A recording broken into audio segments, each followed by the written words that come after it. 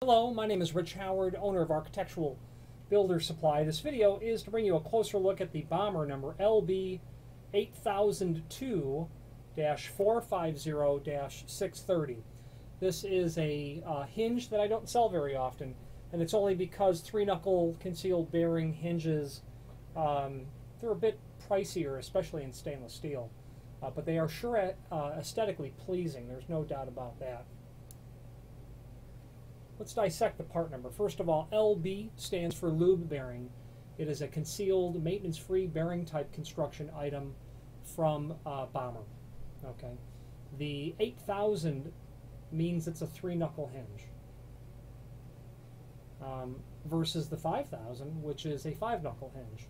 The two means it's stainless steel. That specifically means that the material is stainless, okay, very slightly magnetic, versus a part number like an LB8000 would be steel base. An LB8001 would be brass or bronze, depending on the finish. LB8002 is your stainless. Dash 450 now, that means that the hinge is 4.5 by 4.5. 4.5 inches tall, 4.5 inches wide. Oh, sorry. There's a, there we go. 4.5, 4.5. The height is first on a hinge like this. You would say that it's four and a half tall, four and a half wide. Keep you out of trouble if you were doing wide throw hinges, or let's say a five by four and a half, or a four and a half by four. Heights first on that. Okay, six three zero. That means it's not only stainless steel, slightly magnetic as you can see. So stainless steel and also um, satin, brushed finish. That is 630. It means two things. Stainless steel with a brushed or satin finish rather than a polished finish is what that is. This is for a medium uh, weight door with average frequency, meaning uh, it's a reference to the thickness of the leaf, which on this hinge is 134 thousandths thick.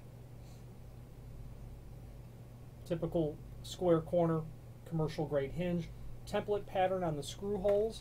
And speaking of the screw holes, screws are included. With a hinge like this, you're typically going to get all woods, uh, pardon me, all metal screws. So you can do a metal door, metal frame, and half wood screws.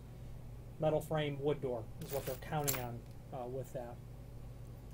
This is a non-rising removable pin. The pin can be now regarding the pin options, uh, because this is considered non-rising, meaning that it won't over time creep out. Generally does not.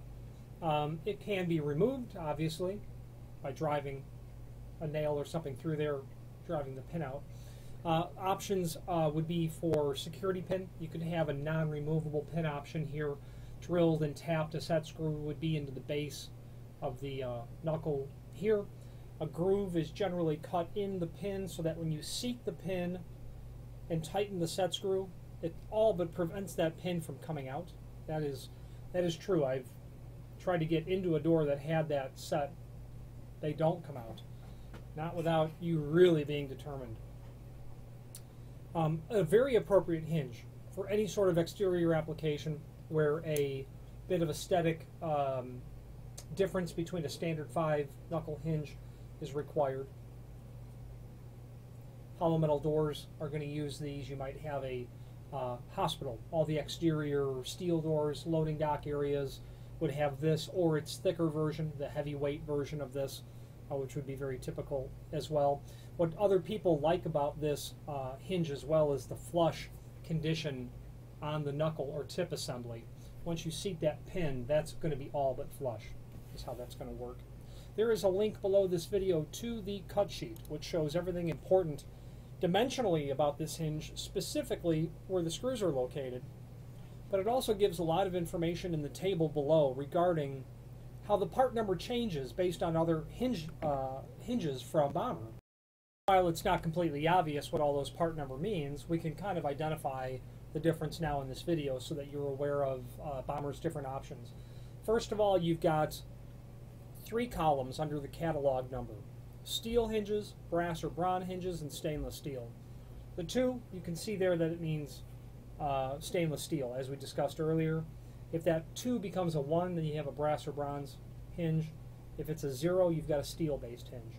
5000 is a five knuckle hinge versus this three knuckle hinge. If there is no BB or no LB, that means it's a plain bearing hinge. This hinge is an LB. It would look pretty much the same as the 8002. This this LB 8002 would look much the same as an 8002, except that in the in the interior raceway preparation here has been made for ball bearings. Okay, so you've got 5,000 five knuckle hinges, 8,000 three knuckle hinges, BB or LB, that gives you the bearings. Okay.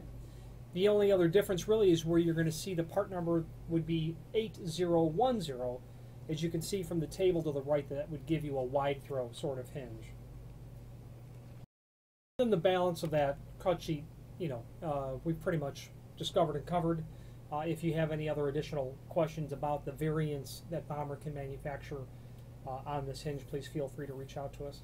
Um, the last thing I'd like to show you is the Bommer logo. Right above it, it says Made in USA, a fact that Bommer is quite proud of, as am I to represent them. They are a comprehensive manufacturer of all things commercial hinge related.